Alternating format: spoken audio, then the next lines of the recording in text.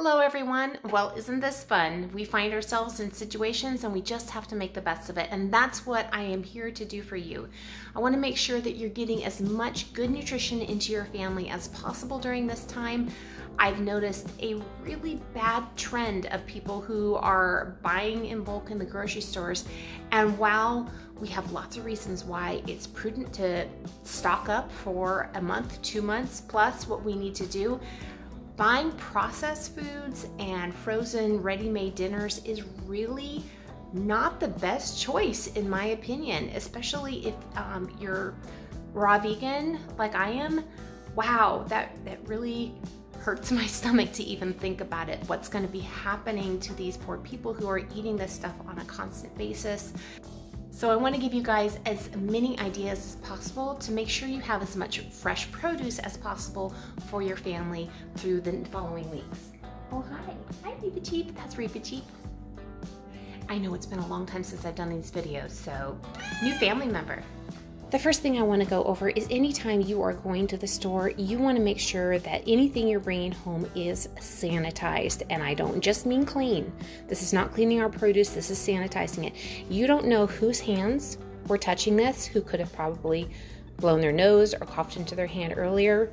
Maybe somebody coughed onto the food that was on display before you got it.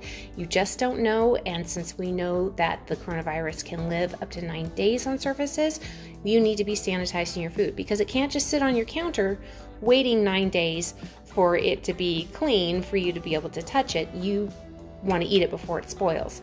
So I have Basic G, and I will have a link for that below. It is on back order, no surprise there, until April. So if you want it, make sure that you're on top of it as soon as it comes back into stock. This will kill the coronavirus within one minute as long as it remains wet. So you make your area wet and let it sit for one minute. Everything is okay for you to touch after that. And that is really great to do for our hard skin items. You gotta wanna be careful with your soft skin items. Wash it off afterwards. Don't just let it sit on your produce. Um, it is safe to stick in your mouth if you have to. So if there's any residue that's left over, it's no big deal. That is safe now that it's diluted down in its proper dilution. If you do not have something like the Basic H, please do not be cleaning your produce in straight Clorox or Lysol or other harmful chemicals that are going to leach into your food and then into your body. That is absolutely not the way to go. The coronavirus is also sensitive to temperature, so if you need to, this is going to shorten the life of your produce, but if you need to, dip it in very, very hot water, close to boiling water.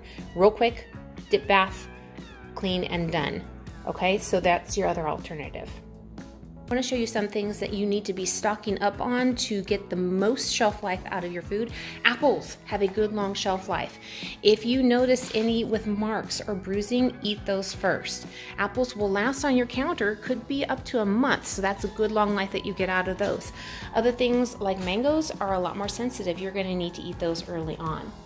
Your bananas, Make sure that you are wrapping the top in plastic that slows down the ripening process and keep your bananas away from each other. If you're buying a lot of them, because you don't want to make a lot of trips to the store, I have bananas here, and this is as close as I would get other bananas to it because they will ripen each other up faster. Things like your squashes have incredibly long shelf life, so stock up on those. Another thing that would be great to do, and I'll have a link for this as well, is get yourself a sprouting kit. These are so easy to grow and you have fresh greens within two to three days. It is that easy. All you have to do is add water and done. Another thing, and I'll find a link for you as well and put it below, is as many vegetables as you can regrow in water do it. Onions are another easy one, the green onions. And there are many others that you can stick in water and get so much more out of them. I look, I already have a little stalk of celery there, and that's about a week old. So you can see from the newer one to the older one and how I'm getting more out of it. I'm getting so much more out of, of my money by doing that. And he has to sample all the water. Weepy cheap. Hi. Walker. There are a lot of vegetables that can get kind of gross when you freeze them, and there are a lot that do really well, like asparagus. So, know which vegetables that you can freeze, because if you go to the freezer section and you can't find the green beans and things like that you want, you might find them fresh and you can freeze them for yourself. Did you know that you can freeze the mighty avocado? Absolutely. So, take the seed out, skin it, and then slice it up. You want to use something like a food saver for this if you have one. If not, just get all the air absolutely possible as you can out of the bag. You can use a straw and help suck the air out of the bag before you zip it closed and put it in the freezer. And there you go, fresh avocado.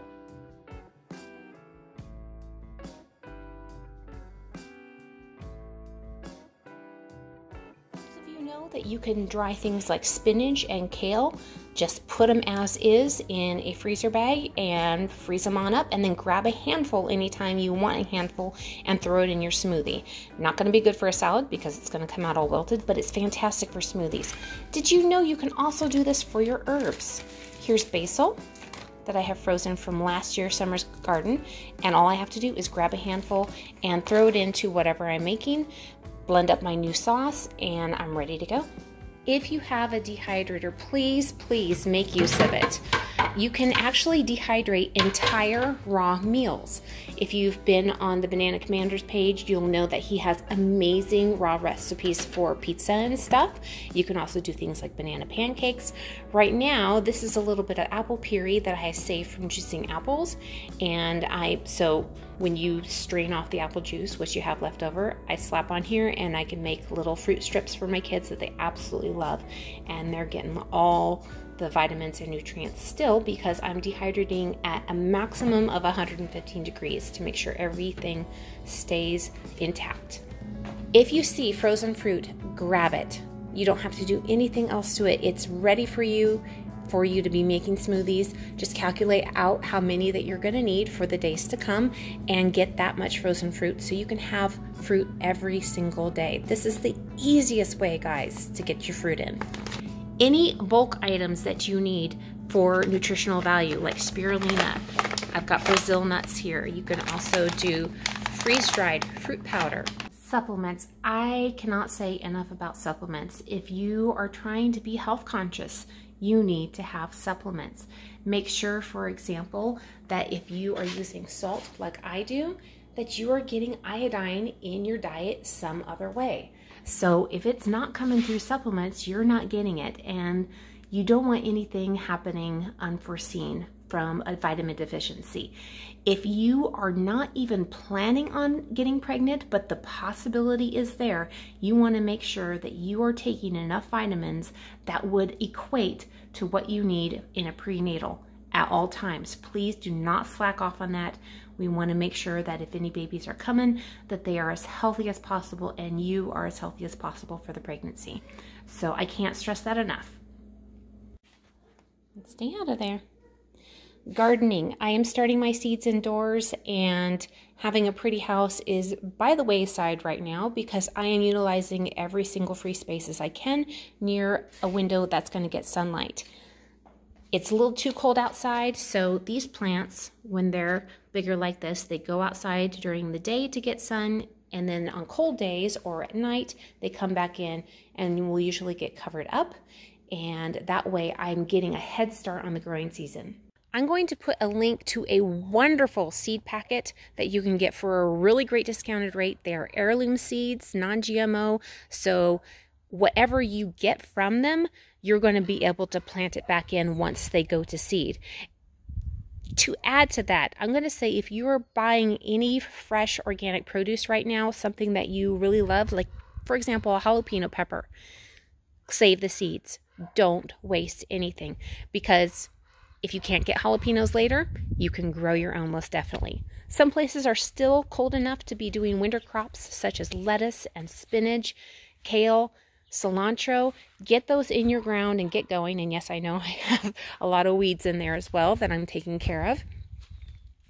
And then other things can get started right now outside, such as carrots. They're doing really well here. Herbs grow fantastic almost anywhere. Have a lot of oregano there. So, whatever, look on your seed packet, whatever you can get outside, get it out now and start on everything else indoors if at all possible. If you have a nursery nearby, you would be surprised how many small trees are going to start producing now. So this is a nectarine tree. This will have a few nectarines on it this year that we can enjoy. So even the small ones, if you can't afford the 15 gallon, a 5 gallon, some of those are producing right away. So if you have the space for it, that's a wonderful thing that you can add to your diet. Fresh off the tree, nothing better. If you've been on my channel, you've seen me do a video on this tree before. This is our flowering plum tree. It is not supposed to have plums. It definitely doesn't make plums like you would find in the grocery store, but it does make edible plums. And if you have something in your neighborhood or in your yard that no one is utilizing and just letting the food fall to the ground, utilize it. This is amazing, wonderful fruit full of nutrients, so why let it go to waste? Another thing I'm going to say about foraging is you probably have stuff right in your lawn if you have a lawn or by the side of the road that you can utilize. My lawn is full of dandelions, and not only are the leaves nutritious, you can even eat the flowers. And before anyone's going to say something about stealing from the bees, my entire neighborhood is a dandelion paradise, so they are not going to go without food if I come out and I pluck a little bit and harvest a little bit every night for our dinner to supplement what we're eating. But you've got so many edible weeds in this world that go crazy in our lawns don't dig them up, harvest them. Pretty soon, places like in the Northwest are going to have berries by the side of the road. That's another great option. And if you live in a desert, before you say that there's nothing there, there is. I mean, these come off of a barrel cactus. They are edible. They taste great with lime juice. Another thing I wanted to say here is if you're collecting fresh fruits and vegetables, you're gonna have to make some sacrifices at this time. And one of the ones I chose to make was to get some juice like this. As soon as I crack this open, these are going in the freezer to make sure that they last forever. So instead of stocking up on fresh lemons and fresh limes, that's a sacrifice that I have made. Um, other choices you might have to make if you're raw vegan is to supplement your diet with other things like oats and beans and it's not ideal and it's not what we want to do but the last thing we want to do is to go through our days with not enough calories and be having problems because of that. So even think about sweet potatoes. They last in the cupboard for a long time.